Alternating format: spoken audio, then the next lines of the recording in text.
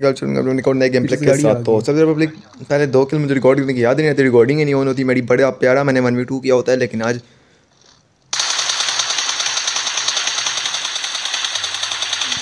लेकिन उसकी याद नहीं रहती और पब्लिक के दोनों बंदे कितने डैमेज है कितने ही ज़्यादा डैमेज है मतलब फुल ज़ीरो जिसके एक के तो किसी साइड पे पड़े थे दो बंदे थे मुझे। एक कोई होता तो, तो एक को मारता ना इजी ले जाता ये देखो बंदा साइड से मेरे पे नेट कर रहा था तो मैंने कहा मैं भी मोली करूँगा बच्चे अब तेरे पे। उसने तो किया नेट में तो थोड़ा ऊपर था तो मुझे आइडी एडवांटेज भी था। मैंने की ईजी मोली और जलेगा तो भाई जान इस मोली से कन्फर्म क्योंकि बिल्कुल परफेक्ट मोली है।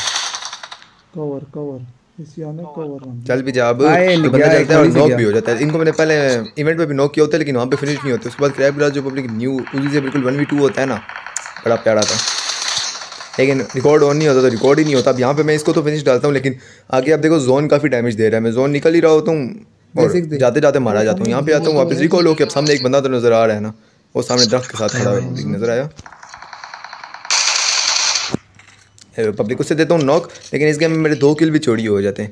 किल हम्म, मिल रहे नहीं होते आगे और इस गेम में चोरी भी हो रही होती ये कह रहे थे मेरा किल है। इसका किल कहाँ से यार पब्लिक की सारी गोली मैंने तो मारी है। और देखो एक बंदा वो आ गया नज़र आ रहा है। हाँ, ऐसा तो मुझे भी कोई खास पब्लिक आ रहा नहीं था लेकिन एक दो गोलियाँ फिर भी टच हो ही जाती हैं। अब तो एक और बंदा होता है उसी का टीम मेट होता है।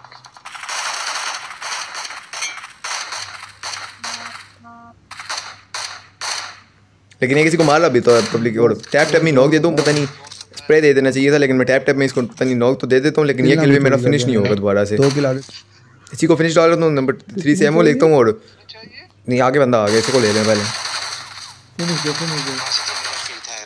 आगे आ रहा था बंदा इसको लेके जाता हूँ और पीछे तक ऊपर छत के ऊपर चढ़ जा जब तक वो उधर इन पब्लिक वो बंदा फिनिश नहीं होता और अपने जोन भी जाना होता है तो जोन जाते जाते मार ही जाता हूँ पब्लिक अब यहाँ पे आया होता हूँ हम लोग बॉट स्क्वाड है।